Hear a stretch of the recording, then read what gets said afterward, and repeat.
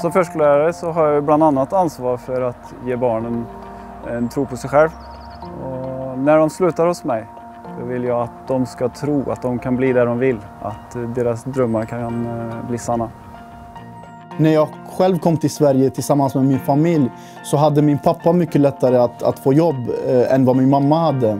Får man lättare jobb så lär man sig språket mycket enklare. Därför så skaffar man nya vänner på ett enklare sätt. Och det leder till att man också deltar i det samhälleliga liksom, mycket lättare. Eh, och den, den möjligheten har inte kvinnor och män på samma sätt.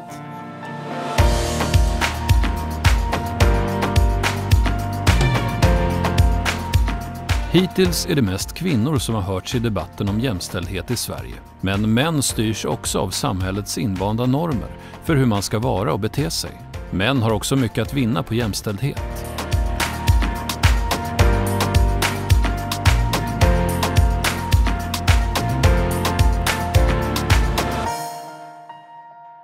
För mig är jämställdhet väldigt viktig för att eh, för min egen skull att jag ska ha möjlighet att vara hemma med eh, min dotter och att jag och min fru ska kunna, kunna dela på, på föräldraledigheten.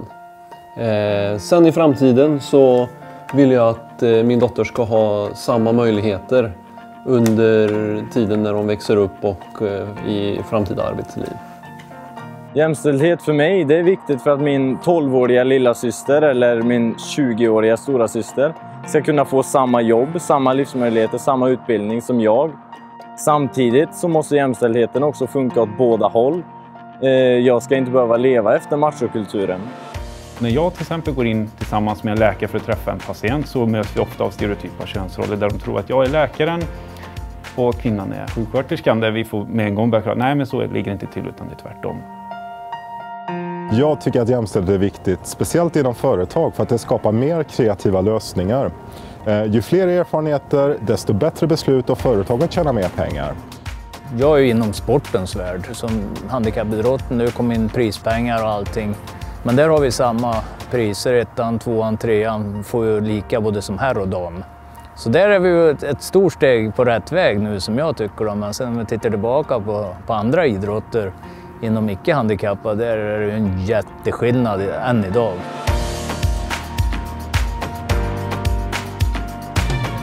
Jämställdhet här, det är viktigt eh, till mig att eh, det blir lika samma man och kvinna. Om på mm, grunden här skillnad, det kan inte komma fram bra resultat. Enligt mig så är jämställdhet en orättvisa för många. Eh, jag tror man skulle kunna vara sig själv mer.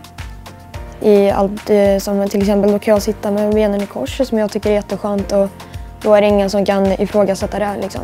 Och så att eh, alla människor kan vara så som de vill vara. Och jag tror det är så man är menad att man ska vara.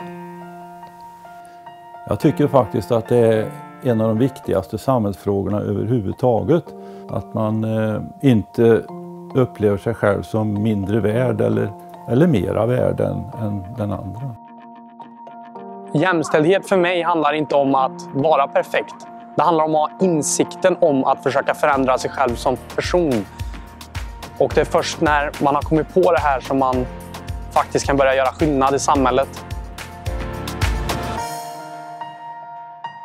Jag tyckte man kunde jämföra lite grann byggbranschen och älgjaktsveckan i skogen. För den var det ju bara karar som höll på med för i stort sett.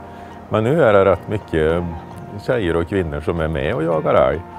Och då tänkte jag att älgarna har ju inte blivit mindre och vädret har inte blivit bättre. Och skogen ser ut ungefär som man gjorde för 50 år sedan. Men där har det hänt någonting.